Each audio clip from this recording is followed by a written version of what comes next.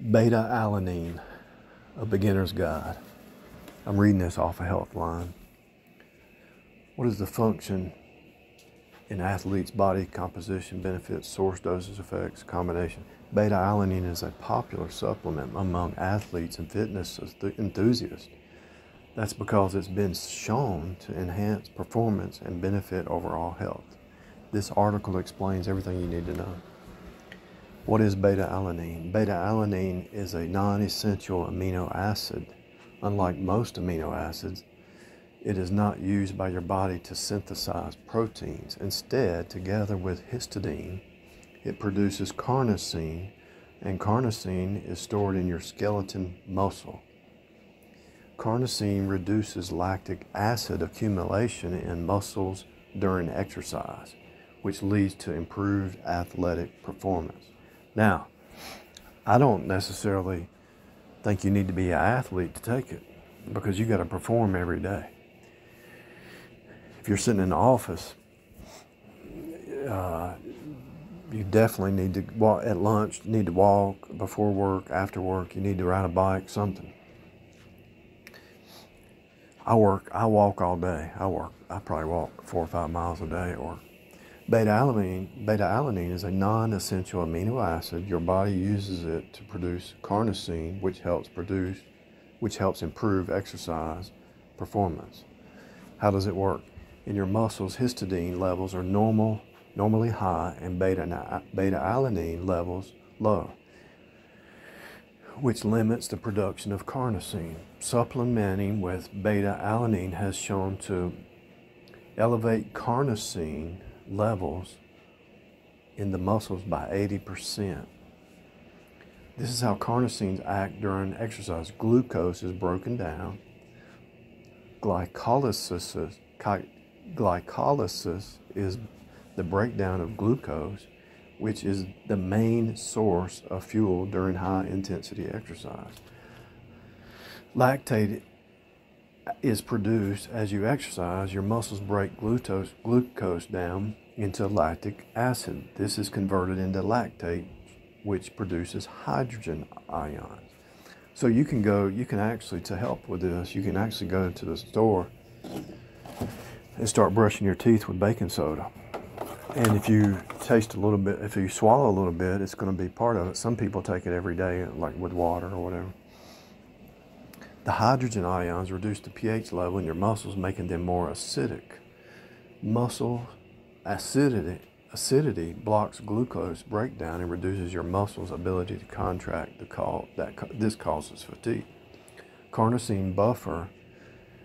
Carnosine serves as a buffer against the acid, reducing the acidic acidity in muscles during the intensity exercise. Since the beta alanine supplements increase carnosine levels, they help your muscles reduce their acid levels during exercise. This lesson all this le- lessens overall fatigue. Beta alanine supplements increase carnosine, which reduces the acidic, acidity in your muscles during high intensity exercise. So that's the article on Healthline regarding beta alanine. So it's a non essential amino acid. I've got this uh, Vital Proteins collagen peptides that I take pretty much with food every. I just sprinkle it on the food, and uh, it's got alanine 731 milligrams, arginine 759, aspartic acid, glutamine acid, glycine, histidine, hydroxylysine, hydroxyproline, isoleucine, leucine, lysine methionine, proline, serine, threonine, trip, tryptophan, tyrosine, valine. And so all these, says uh, vital, there's a note at the bottom, contains eight of nine essential amino acids. And so I've been uh, using the baking soda to brush my teeth every day. And I, you know, brush my teeth two or three times a day, and so one of the one of those times I use baking soda. I might start sprinkle a little bit on the food and experiment with it. But I might start just recording as I'm reading these articles, recording them, create a create a folder or a database with this stuff. People, some people don't want to read; they just want they want to listen, you know, and create a and not just read Healthline articles, but different articles, and kind of break it down into sections: amino acids, uh, stuff you could over the counter stuff, bananas, food, whatever. Just pick one. Maybe just pick an organ. That's what you could. That's, that's what I could do. Just pick an organ and put in a database. Muscles, heart, sugar, which is uh, nerves, endings, or whatever. Nerves. Pick a different organ or a di- different system in the body. Record it. Put it in a database, and I think that'll help people and then I'll, I'll download the database to a hard drive, and I'll always have it. And uh, if they crash my system like they always try to do, they're always attacking me. When they crash the system, I've got it on a hard drive, you know. The enemy wants you sick, depressed, alone, negative, pessimistic, all those things. Instead of love, joy, peace, goodness, meekness, temperance, faith, walking by faith, living in joy. And there's people who are actually say they're saved and they like to see you when you fail. They, they want they love it when you fail. I don't know if it's something in them from childhood or something from their family, but there's there's people who claim to be saved and they they like when you fail or when you don't succeed or when trouble comes your way. They lo- they enjoy that. Now, if they are saved, God is see God in Deuter in the Old Testament. God looks at the heart, right? And so, if your enemy, and these are not even your enemy, these are people who are trying to build you up and support you.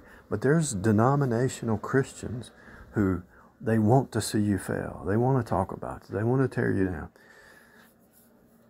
there's a difference between exposing the system and the goats in the system who are trying to steal, kill, and destroy versus somebody who claims to be on your team who's trying to tear you down. Claims to be on the same team, the same side, claims to be with God, but they want to see you fail. All the denominational Christians that don't believe in the hologram, or they don't believe in the creation code, or they don't believe in faith alone, or they don't believe that, that God is everywhere all the time and all things point back to Him. They don't believe in the archetypes. They don't believe in the, the fact that you can rightly divide the word, so that means you can rightly divide 3D. All those people who don't believe that and who attack that, you're trying to help them. If you read the book of Proverbs, it will protect you, right? It keeps you from the scorner. It keeps you from the from the uh, the evil person. And also, if you just observe and think about your childhood, think about things that you've been through, you just sit back and observe, you can actually see the patterns of an agent, of a narcissist, of a psychopath. You can see their patterns. The duper's delight the uh, uh, whatever it is. You can see the patterns. You can see it in their body language. You can hear it in their words. You can see what they laugh about.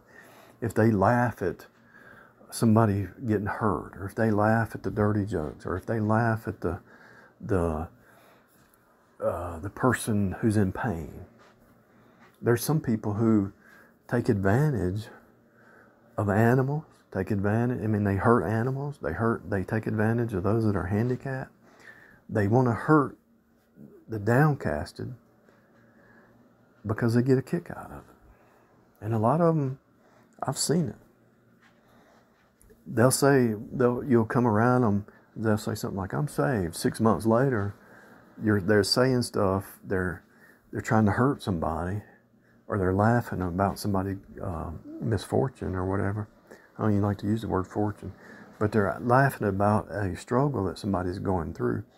And it's like, well, guess what? You're probably going to go through that same struggle or worse to give you compassion. To teach you compassion, to teach you to not be high minded, you know. Anyway, so that's what I might do. This is uh, beta alanine. It's the same stuff. If you Google it, you can. Baking soda does this. I'll have to. Let me just let me study baking soda and uh, see the benefits of baking soda, and I'll upload that one, and I'll go ahead and start the database. And so this will be a, a section in uh, muscles, fatigue, or whatever. Eventually, I'm going to hit on something that's that's going to be really uh, beneficial to mankind, which I've already hit on something, but most people are not ready for it. The creation code, the faith alone, the die daily. You know what's the most beneficial for you? The, the, the, let me think of the top five things that are the most beneficial for a person drinking water, sleep, staying organized, keeping clean. It's, it's going to be the top 10 or top 20.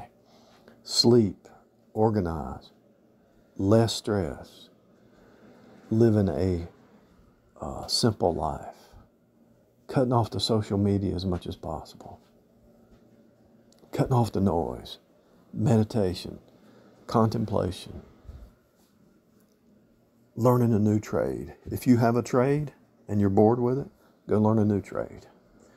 You could even volunteer to learn a new trade. Uh, build something, create something, whether it's art, whether it's construction, or whatever. Have a hobby. Wash your clothes. Vacuum your house. Clean your toilet. Get you a bicycle and just ride around the block if that's all, even if it's a cheapo bicycle. Cut back sugar. Cut back fast food. Go to Walmart and get you a foam roller and use the foam roller. Go to Walmart and get you one of these uh, resistant cords and do some exercise with the resistance cords. Study medical stuff. Listen to Dr. Berg. Listen to doctors like Dr. Berg. Don't believe the system noise. Don't believe the system lies. Diabetes can be healed. And that's what they've been trying to do. Think about this. These, these rich people, you see these movies where they go into a sauna, right? And they sit there and they talk about business while they're in the sauna. They're sweating out the impurities. So they're talking about business, but they're also at the same time healing their body by sitting in a sauna, sweating, sweating it out through the skin your health is your wealth. And that's what they're going to attack. Because if you can outlive the average person and you're getting that social security and your health, they don't they want you to they want you to die before you get your social security. That's what they want. They really do. And a lot of spouses, there's a lot of people who are married, they only got married to get the person's social security or their property or whatever. There's a lot of people that marry just for money. And on the one hand, I can understand that, but it should be a team effort. And it shouldn't be somebody uh, thinking it's all about them. You know, the queen bee mindset is all about me. You know, it's a team effort. If the man's out working and to, to make a good living and to provide a home, and the woman's at home raising the kids, she should keep order the house as he's ordering his business. She's ordering the house, and it's a team effort, you know. Now, if he's out working, she's out working, they should be saving, trying to get out of debt to where she don't have to work, or they run a business together. I mean, there's always work to be done. I'm not saying a woman shouldn't work. I'm saying that work is good but it shouldn't be stressful. If they're working together, it don't have to be stressful. You know, what's sad is I found out through the years that the single people are have less stress. Unless they're single with kids, there's a lot of stress involved that. But the single people seem to have less stress. Why is that? Marriage should not be more stress. It should be a team effort to where you're on the same page, where you're benefiting each other, and you're wanting that other person to, to be healthy, wealthy, and wise. You want to build them up. You want them to exercise. You want them to eat right. You want them to think right. You want them to be spiritual. You want them, if they want to meditate and they want to fast in prayer, it says that in 1 Corinthians 7. In 1 Corinthians 7, it says that. It says, uh, uh, don't withhold yourself from one another, lest the devil tempt you, unless just by, unless you both agree and by prayer and fasting, you know.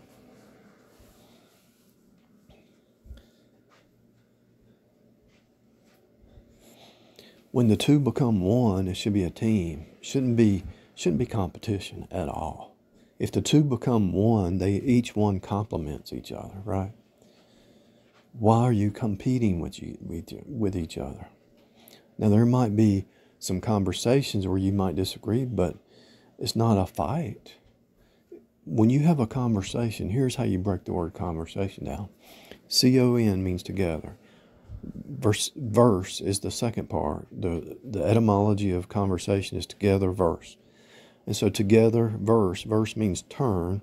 And so as you communicate with somebody, you turn the truth over in your mind, then you develop uh, from each perspective. So a marriage with no conversation is not even a marriage. A business with no conversation is not a business. A friendship with no con- no conversation is not even a friendship. A relationship of any kind without conversation is not a relationship because that's what the word relation means. It communicates back and forth. That's, I've been studying on my vacation. I've been studying these different databases, relational databases, back and forth communication. This table communicates with this table. This database communicates with this database. Relations relate. Oh, I relate to that. Oh, I relate. That's why it's called relatives, because you relate to that bloodline. You relate to that upbringing. You relate to that. And as you move into your own, uh, creating your own bloodline or creating your own, whatever you want to call it, your own uh, legacy or whatever, you create your own path. Let's say that then you hope other people come along that you can relate with, but they don't always do. They stay. Some people stay in their that path, uh, the old paths, the old destructive paths. They stay in it, but you can't stay in it. You can't relate to that anymore. You only relate to healthy paths. Can you imagine a person, let's say a husband and wife, uh, get married. And let's let's say the man is eating sugar all the time. And the woman says, I'm not eating any more sugar.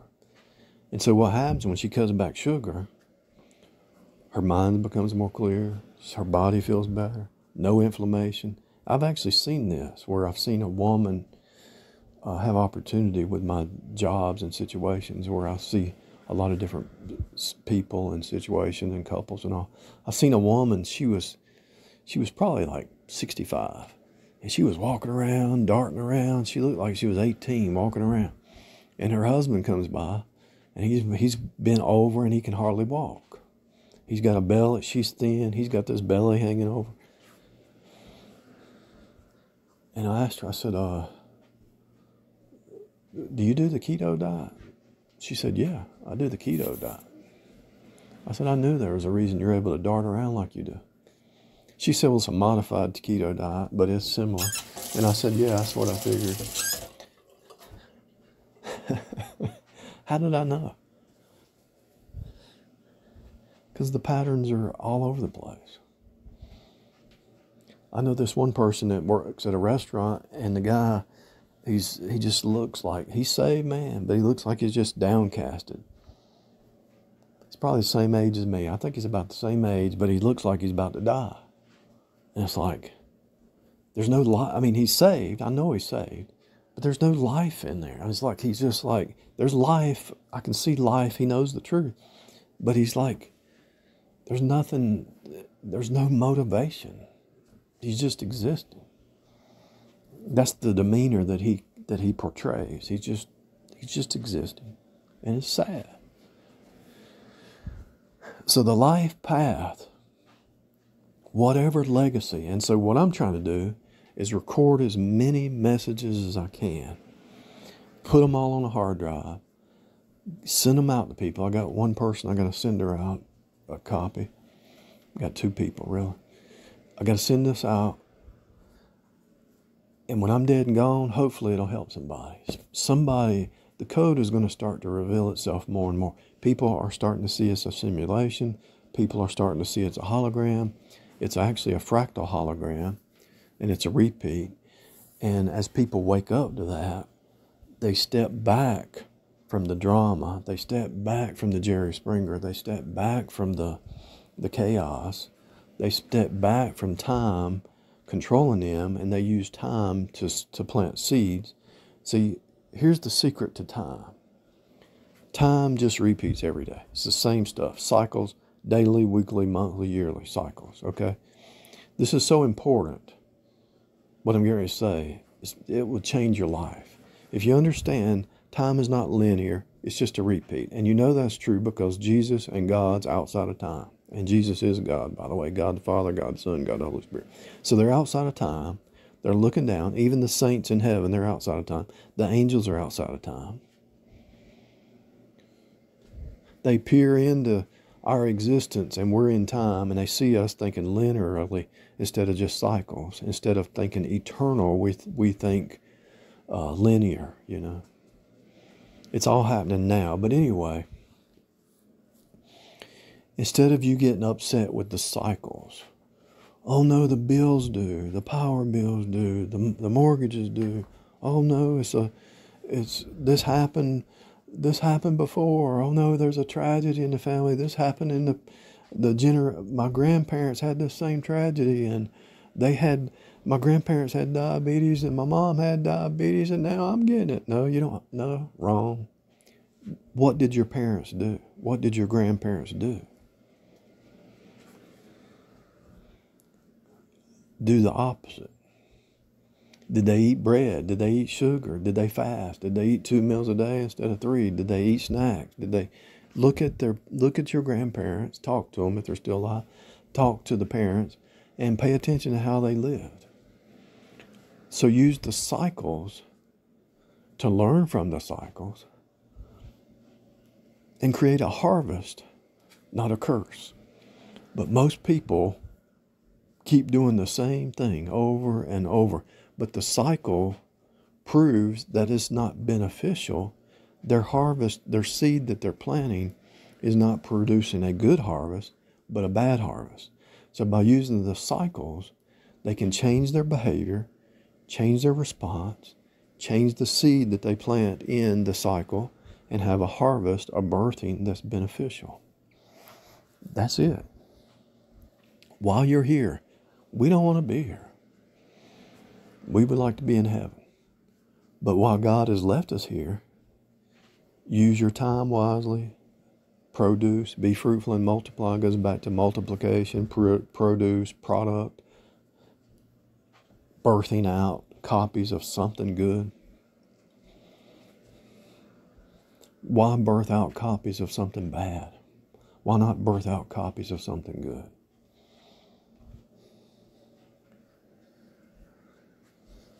Birthing out a copy inside this copy machine, which leaves a legacy or a ghost image when you're dead and gone. It creates a image of something good, something beneficial, instead of something destructive.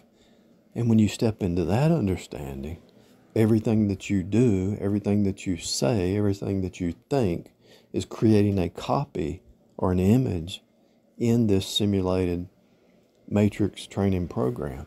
And so when you step out of that and you step into the truth, then you become a a printer in 3D and you're printing out a harvest and a blessing and something good. Why do they call it Mother Earth? Because it's reproducing. What is reproduction? Like, why do they keep playing? Why do they keep making Superman movies? Why do they keep making Batman movies? Why do they keep making uh, superhero movies? They'll make another Jessica Jones series, no doubt about it. You know, there's a th- question up in the air. Are they going to do? Yeah, they'll do it. it. Might it might be the same actor, hopefully, but it'll probably be a different actor. We'll see. A lot of times they make these movies, and it's not even about the money.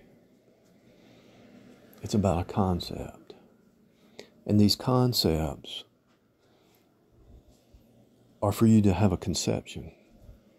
And so these concepts are you for you to have a conception.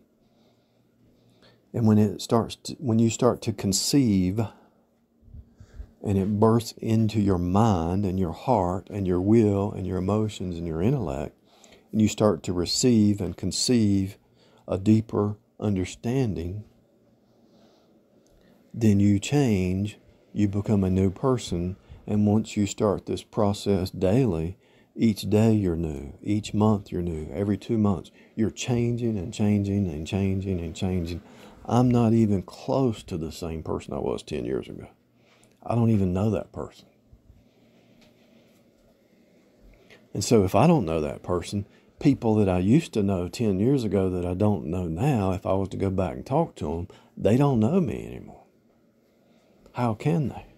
And here's another thing if you're changing on the inside every day, and nobody can stop you, nobody can stop you.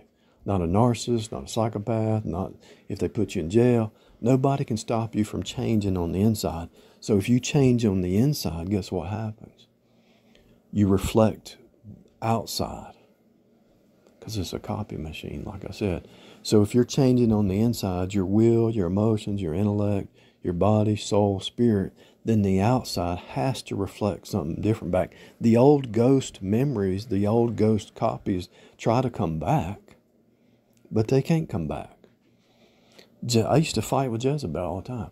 Now I don't fight with Jezebel, but Jezebel still tries to come back and fight with me. I used to fight with the legalist. I don't fight with the legalist anymore because the legalistic people are Jezebel, but they still try to come back every once in a while. You'll say, I already know what they're going to say before they say it. I'll say faith alone and Jesus alone. And they'll come back and they'll say, well, yeah, it's faith alone, but you got to do some works. See, already know what they're going to say before they say it because they're a ghost copy. They don't exist in my world anymore. I already know their argument. I know the Gnostic argument. I know the witches' argument. I know the gematria argument. I know all their arguments. I know the book of Enoch motivation. The book of Enoch motivation, or any other book, any other book they use besides the Bible, is to try to, to bring the Bible down to their level. Instead of the Bible being held high and up above, they're trying to bring the Bible down to that book. Now, there might be some truth in all those books because there's truth everywhere right in front of you all the time. If you watch a movie or listen to music or nursery rhymes, truth is encoded. Everything out of your mouth is from source. And for for you to live a logical life, this is this is the this is really important what I'm going to say. Every word out of your mouth is from source, the logos word. And for you to have a logical conversation with somebody, for you to have a logical process of going to the store, a logical process of doing a job, anything that's logical goes back to L O G O S, L O G I C, the log, the logos. So anything that's logical out of your mouth, no matter if it's a, a book that a man wrote, there is just going to be truth in it to some degree because if as long as it's logical. But there's going to be a point if it's contrary to the truth where it's no longer logical. This is how you know that the extreme left the left in general get it wrong. They're wrong they're illogical so when you're dealing with a person who's illogical they do not have sound doctrine, they have no truth, so everything about them is going to be contrary, and it's actually a curse. Because if if doctrine determines behavior, and it does, and they have no doctrine because they're not logical, they have no truth, then everything behind everything they're doing is illogical, so their behavior is going to be illogical, and they're going to be down in destruction. Because it's going to be contradictory behavior, and if it's contradictory thoughts and behavior, they're contradicting themselves, they're a walking contradiction, so they're destroying their own self. It's really easy. It's really easy. It's not complicated.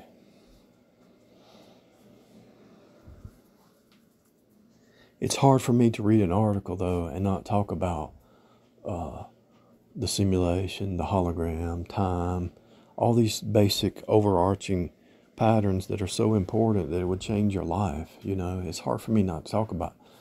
And the and the, I feel like if I talk about it from different perspectives, maybe it'll click. You know, with somebody.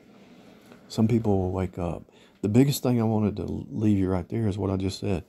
If Jesus is logos and the word logic unfolds from logos, everything unfolds from logos, then if you write a book that's logical, there's going to be truth that points back to the biblical truth, which points back to Jesus, which points back to the creation. It points back to the whole thing. See, the earth and time is befallen. The earth plane fell. That's why the earth groans, waiting for the sons of God to appear. Because when we bring things back into logic, and it's not legalism, it's just what's right. You don't have to, you know, if somebody says, Well, I can't do right, I don't know how to do right, it's because your thinking's wrong. If you under you don't need rules once you understand love and truth. Once you have love and truth, you don't need rules because love and truth is a rule to itself. You, bec- you rise above the law. If you understand the purpose of the law, there's a higher plane. The law was just given to take and show you that the energy of the flesh is weak. You can't do it. And so when you transform your mind into spirit mind, then you're above the law and you walk. If your mind is above the law and you understand the overarching patterns of why God said, love your neighbors yourself, do unto others as you have them do unto you. When you understand, because you're looking at a different version of yourself. Another person is per the Son. Everything's a derivative from the Son, S O N. And so, if everything's a derivative from the Son, even all creation, the Bible talks about being kind to animals. Yeah, there's no doggy heaven, but all the created creatures down here, you should treat with kindness, you know. Now, if they're trying to attack you or bite your family or try to, if they got some kind of rabies or something, they got to be taken down, you know. But it's, it's, uh, it's not living under law, it's living above the law by renewing the mind. If the Bible says, love your neighbor as yourself, how do you do that? You can't do it in the energy of the flesh. You can only do it by renewing your mind, which is spirit. So this be renewed in the spirit of your mind. So when you renew your mind, then you're not under law, you're above the law. And everything inside the law you're already doing because it's that's the easy button. You don't need a law anymore because you're a law to yourself because you're in the spirit walk. It's really it's really not that complicated.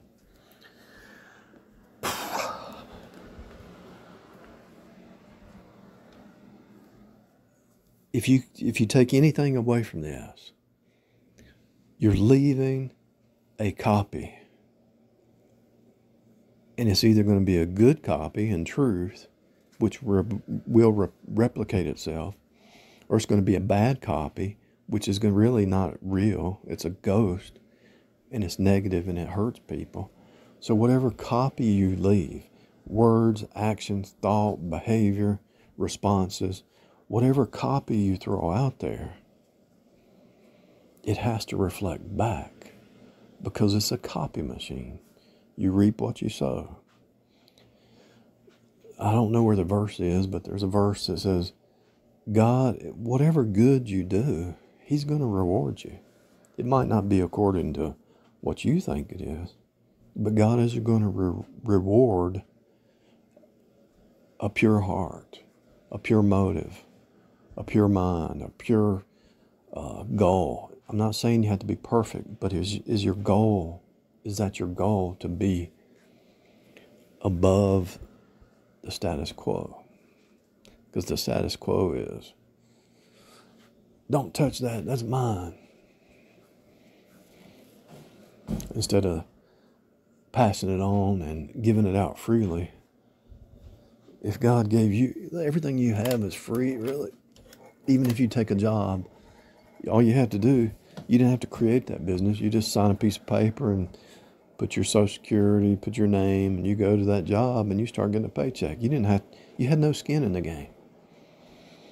You had no skin in the game.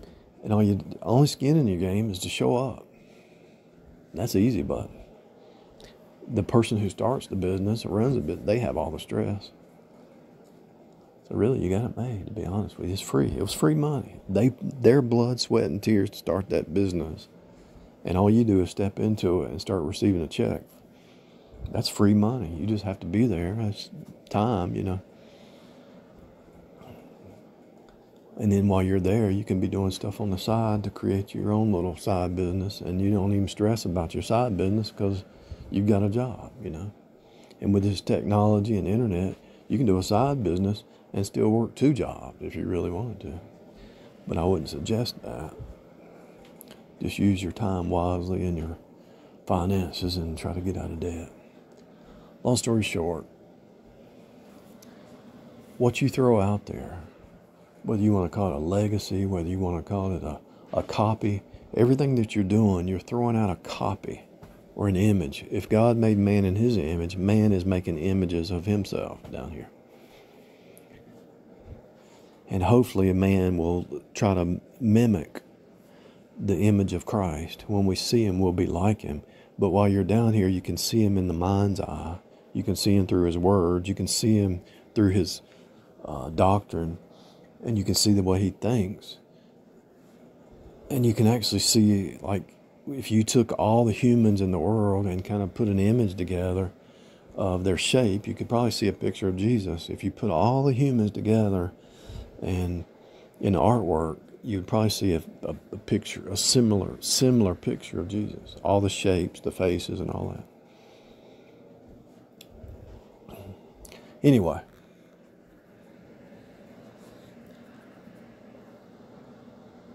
Got sidetracked, but I think it's worth it.